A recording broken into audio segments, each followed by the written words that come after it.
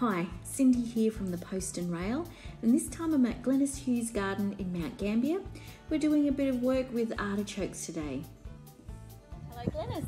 Hi Cindy, this is going to be fun. She's got a spade, she's also got a knife for picking stuff, so I'm a bit afraid and will do whatever she tells me to. but right now we're going to be looking at this um, artichoke here. Now Glenys has planted some out the front, she thought she got them all. So we're going to go look at them growing, but she's going to show how she divides them up, which gives you free plants. So if you've got yes. a plant that comes up. Yep. Okay, so tell us what you're trying to do there, Glenys. What I'm doing, this is an old plant. It's been here for quite a few years. Yep. So it, um, they die off and then they start coming up again. And it's the right time of year to divide them up and yes. replant them or buy them from the nursery and plant right. them. And so I it's middle of winter. Yeah. Yeah. That's the time. Because artichoke, globe artichokes, you eat the flower.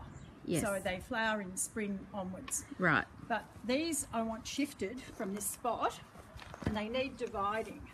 Well, I can so, hear the roots breaking as you're... Um, and the weeds. Do you want me to be on the end of that? Are you happy uh, smushing it? No, you, she's got it. Right. So right. they're the bits that are coming off. Right. And they've got little roots on them. they do too. Look at that. Yep. Those ones are no good.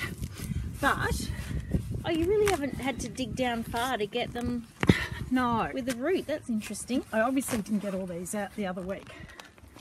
So um, any bits of roots that were left when you dug them up have reshot. Have reshot. Yeah. So now's the time to get them. Yeah.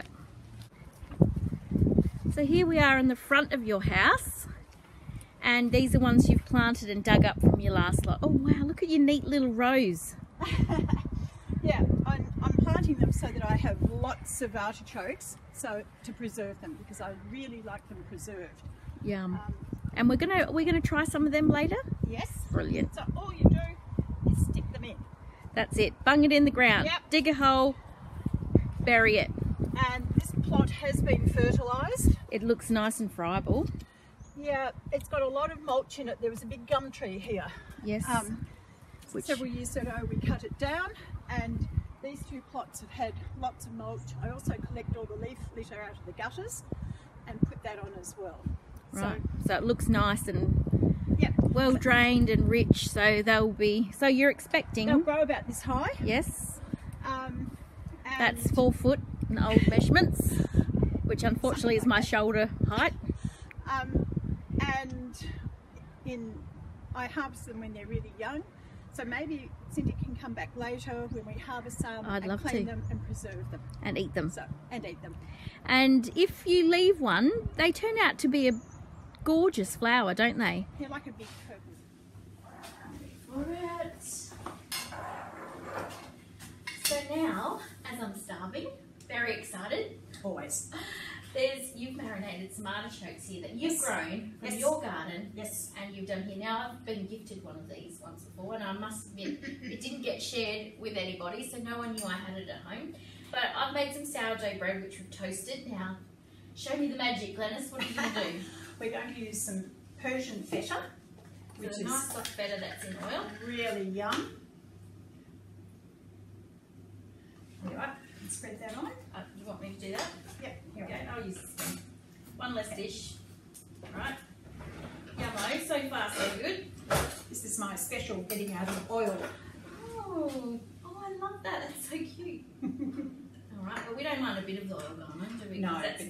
And it's not all oil, it, it's a mixture of vinegar and water and oil, but it's been cooked up and it's got um, other spices. And, I see a peppercorn there and um, there's some fennel in it too. So, just spread those on. But these little things are really good.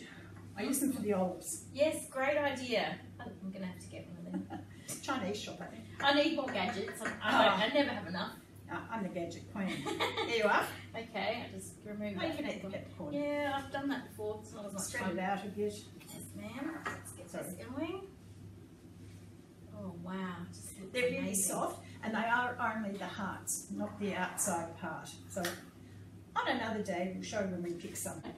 Look at that. That looks delicious. And we're about to eat it. So I've be happy with that whole half of Well, I thought it'd be You easy. Easy. I thought it'd be easy to watch if it was in I can shove it all in. Yeah. All right. Let's Cheers, go. guys. and Cheers. Let's do it.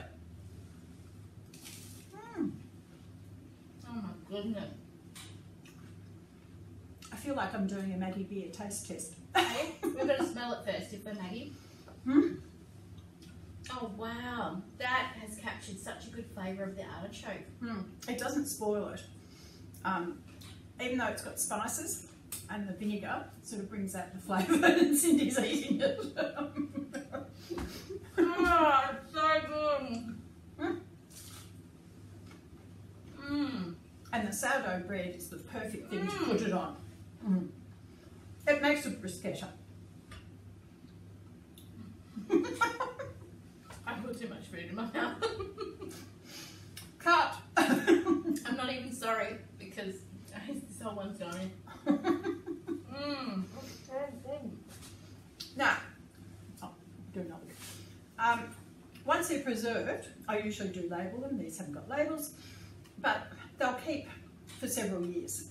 So just make lots and so Several years. yeah, that's if Cindy's not here to eat.